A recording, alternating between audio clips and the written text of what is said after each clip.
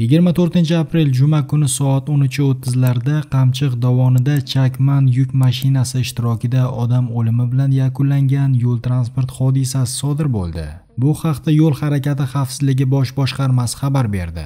Namangan viloyati Pop tumani hududidan o'tuvchi A373 Toshkent-O'sh avtomobil yo'lining 251-kilometrida 1983-yilda tug'ilgan fuqaro boshqaruvidagi yuk mashinasining tormoz tizimida nosozlik yuzaga kelgan. Haydovchi boshqaruvni yo'qotib, yo'lning o'ng tomon qatnov qismi chetidagi favqulodda holat uchun tashkil etilgan avariya yo'lakchasiga chiqib, tog' shabbodasi oshxonasi tomon 180 metr masofa harakatlanib, tog'ga borib urilgan.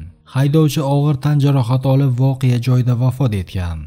Yo'l harakati xavfsizligi bosh boshqarmasi tomonidan e'lon qilingan suratlarda yuk mashinasining kabinasi tog'ga urilgach deyarli yo'q bo'lib ketganini ko'rish mumkin. Aprel oyining 4-haftasida odam o'limi bilan yakunlangan yana bir nechta yo'l transport hodisasi sodir bo'ldi. 20-aprel kuni Muborak tumanida Zil va Spark to'qnashuvi oqibatida 32 yoshli Spark haydovchisi 21 aprel kuni Boyson tumanida Nexia qo'ylarni haydab ketayotgan cho'ponni urib ketishi oqibatida 28 yoshli cho'pon. Chirchiq shahrida Nexia 3 piyodani urib yuborishi oqibatida 60 yoshli piyoda.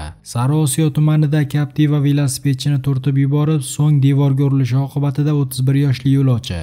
Konemex tumanida Nexia 3 ag'darilib ketishi oqibatida 24 yoshli haydovchi vafot etgandi.